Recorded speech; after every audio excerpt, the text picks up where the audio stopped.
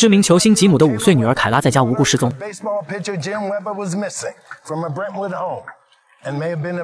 报警人是他的母亲洛丽。洛丽说，跟以往每个早上一样，我在厨房给凯拉做冰沙。凯拉听到搅拌器的声音就会起床来厨房找我，可今早她没来，于是我就去她的房间找她，然后就发现她不见了。警员问洛丽，昨晚凯拉睡觉之前都发生了什么？洛丽说，晚饭我给凯拉做了她最喜欢吃的披萨，收拾完的时候已经很晚了，我给自己倒了杯红酒，之后开着电视就睡着了。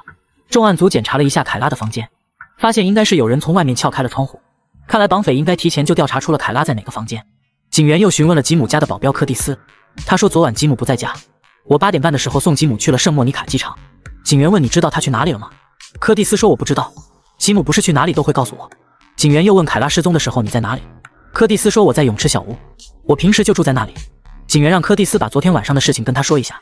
于是柯蒂斯说：“回房间之前，我查看了四周，确保大门上锁，所有的门也都关好了。”警员问：“晚上你什么都没听到吗？比如汽车的声音或者房屋警报之类的？”柯蒂斯说：“事实上，是吉姆让我把房子的警报给关闭了。”通过调查，警员发现，吉姆之所以关闭警报系统，是因为在过去的两周内，警报系统让他们家每三天就断一次电。而吉姆之所以没去修，是因为这里并不是他们房子，是球队临时给他租的一处地方，并且房东曾找过技工修理警报，但没人能查出到底出了什么问题。看来极有可能是有人故意触发警报，好让吉姆把它关闭。这时候，副局长泰勒过来告诉警员们，他们已经联系上吉姆了，他会在四十分钟内到达警局。警局里，雷德尔问吉姆：“你昨天晚上去哪里了？”吉姆说：“我去市区了。”雷德尔问：“你去市区干什么了？”吉姆说：“我去健身房锻炼了两个小时，然后整晚都待在峡谷疗养馆。”警员问：“你跟你妻子的关系怎么样？”吉姆说：“我们关系很好。”接着，雷德尔让吉姆签了一份同意搜查他手机的文件，然后警员就拿着他的手机去调查了。雷德尔接着问吉姆：“最近有没有发现有人对你特别感兴趣？”吉姆说：“没发现什么不寻常的人。”泰勒问：“那些员工呢？女佣、园丁之类的？”吉姆说：“这些人都是房东处理的，我唯一的员工就是柯蒂斯。”雷德尔问吉姆：“你信任他吗？”吉姆说：“是的。”不过我现在对他非常的生气。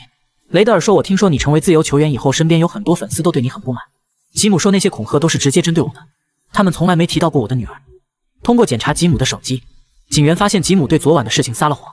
他说他整晚都待在峡谷疗养馆，可他手机上的定位显示，他一直待在比佛利山庄的一座豪华高层公寓里。也就是说，凯拉失踪的时候，吉姆正在跟另外一个人在一起。难道又是夫妻表面和谐，可背地里却有了外遇的狗血情节吗？这时候，警员发现了一个重要的线索。他调查了吉姆家附近所有的监控，发现昨晚十二点到凌晨四点这段时间，有一辆灰绿色的克莱斯勒三百从吉姆家前面的主路开过，往州立公园的方向开去。而一分半钟以后，又有另外一个监控捕捉到了这辆车的身影。因为这条路没有可以拐弯的地方，所以可以确定这是同一辆车。与此同时，警员还在吉姆的社交账号上捕捉到了一条信息，有人发了张照片并圈出了吉姆，而照片上拍的是凯拉最喜欢的小兔子毯子。警员问吉姆：“你怎么确定这个就是凯拉的毯子呢？”洛丽说：“这就是凯拉的。”他长牙的时候经常咬，所以兔子的耳朵都裂开了。吉姆说：“这张照片是谁发的？他们想要什么？要钱吗？”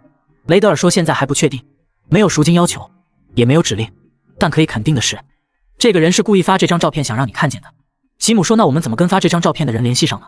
他们要什么我都给。”雷德尔说：“在这之前，我想先知道你昨晚究竟去了哪里。”吉姆说：“我不是已经跟你们说过了吗？”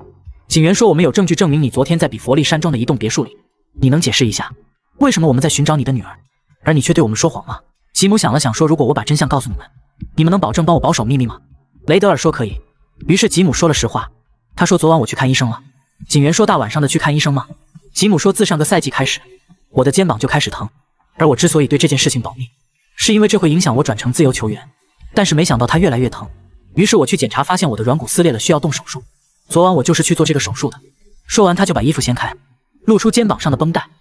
在排除了吉姆的嫌疑后。警员对发照片的账号进行了调查，很快他们就定位到了上传图片的 IP 地址。而在这间公寓外面正停着一辆灰绿色的克莱斯勒三百，于是警员们正式展开了抓捕的行动。警员敲开男人家的门，从门缝里，警员一眼就看到了那个小兔子毯子。于是他趁男人不备，一拳将他击倒，控制住男人以后，警员们对公寓进行了搜查。最后，他们的目光定在了明显是刚被清空的冰箱上。虽然他们都祈祷这里面的东西不是他们心里想的那样，可最后凯拉的尸体还是出现在了里面。